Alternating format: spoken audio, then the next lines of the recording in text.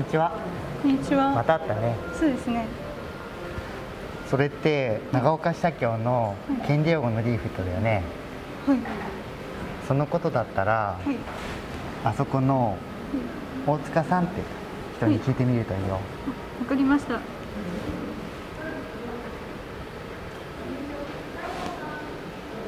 桂さんありがとう。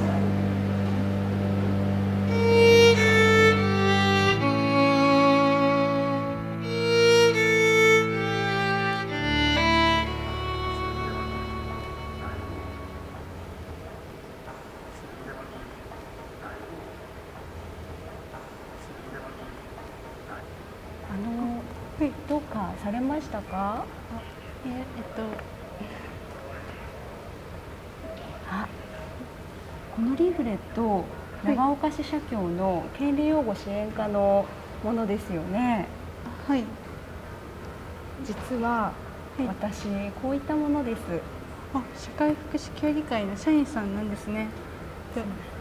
で私クルームでボランティアをさせてもらっている荻野しずくと言います。そうなんですね。じゃあ何度かお顔を合わせてるかもしれませんね。そうですね。であのもしよければこの後少しお話を聞かせてもらってもいいですか？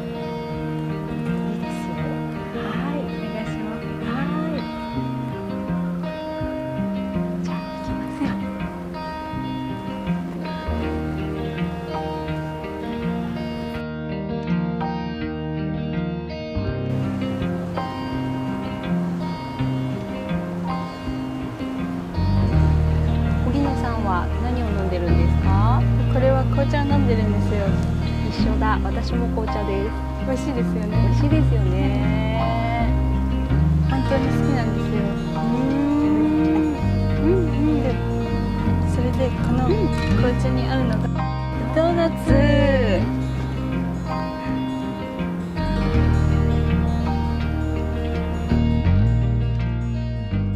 ドーナツ美味しかったね。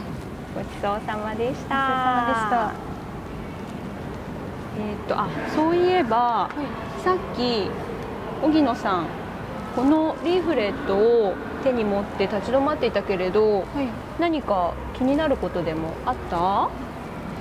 実はうんうん。いやえっとこのリーフレットのキャラクターが可愛いなって思って見てたんですよ。可愛いですよね。はい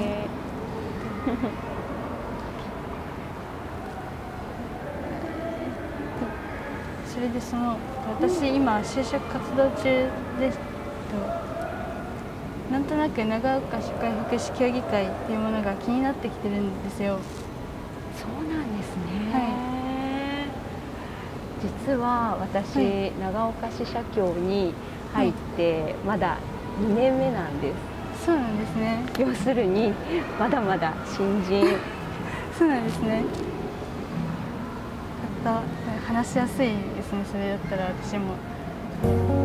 私今までなんかカフェのボランティアなどでと介護サービスとか地域福祉ボランティアっていう単語とかを聞いたことがあったんですけど、また新しく権利用語っていう単語を聞いて。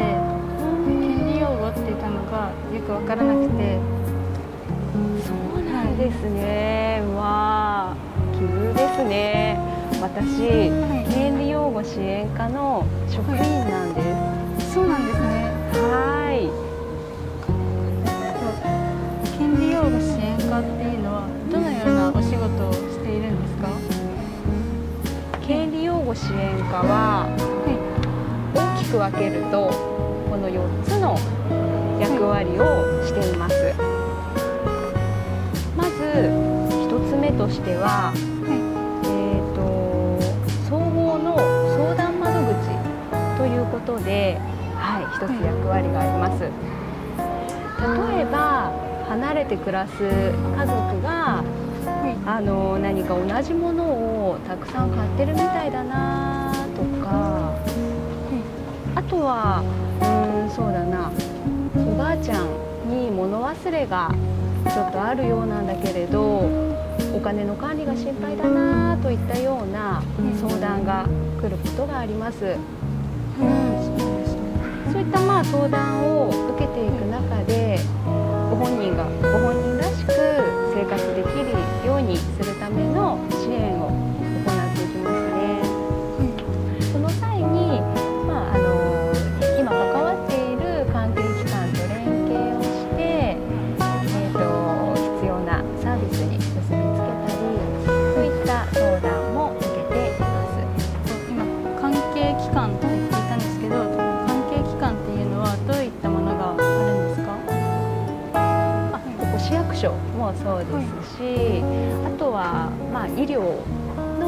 療機関であったりとかあとは福祉サービスの事業所なんかもみんなあの関係機関として連携をして、はい、でその中で本人に必要なところにつないでいくという役割がありますね。そうなんですね。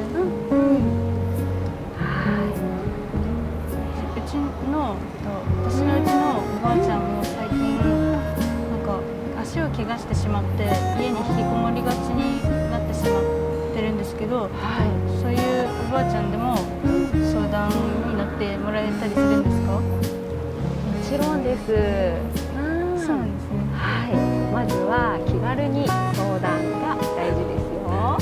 そうなんですね。ありがとうございますところでここに書いてあるこの青年貢献制度っていうのはどういうものなんですか？うん、そうですね。この青年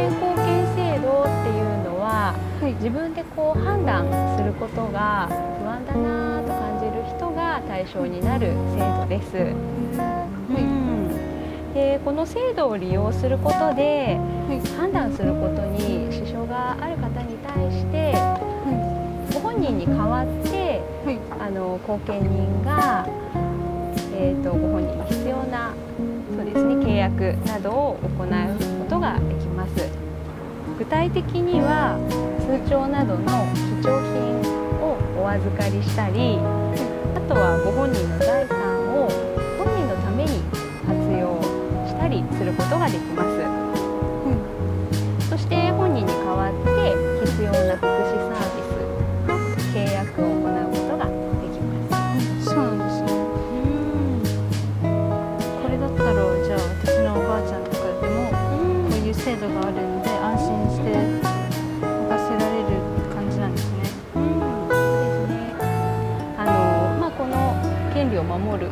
としての青年貢献制度を広く一般の市民の方に分かりやすくお伝えするような普及啓発活動を行っています。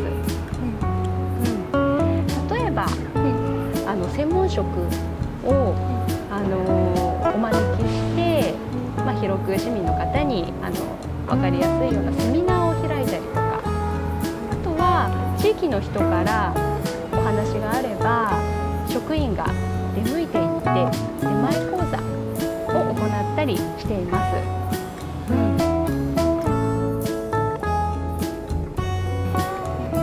そしてここには法人貢献の受任っていうことで書いてあるんですけど例えばあの、まあ、認知症の高齢者の方もいらっしゃったりあとはちょっと精神的な疾患をお持ちの方であったり、まあ、知的障害といった、まあ、障害がおありの方であったりそういう方に対して、えー、と社協が保険人を引き受けて、はい、支援に当たっていきますね。あの一般の在宅のお家にいらっしゃる人もいるし施設の方に入所されている方も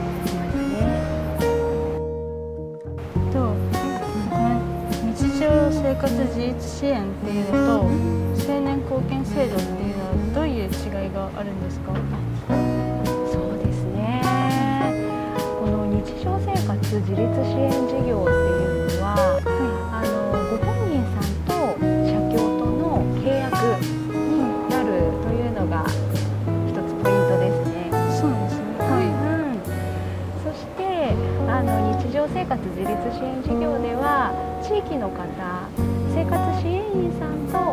教が一緒になってご本人の支援に当たるっていうことができるので、なるべくこう、まあ、地域で暮らすご本人さんに合わせた形のあの、まあ、提案というかそういった視線がこう入ることでよりご本人には、はい、あった支援が行き届く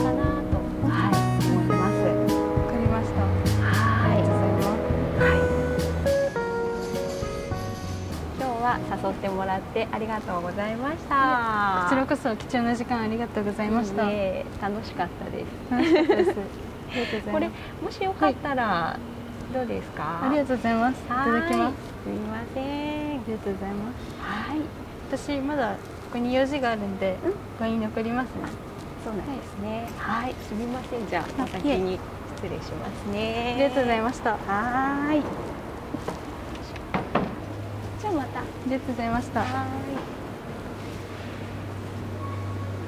あーそういえば、はあの今度、い。長岡市社協で、はい。あの新年度の新規職員採用試験があるんだと思うんだけど、もしよかったらどうかな？受けてみませんか？受けてみたいです。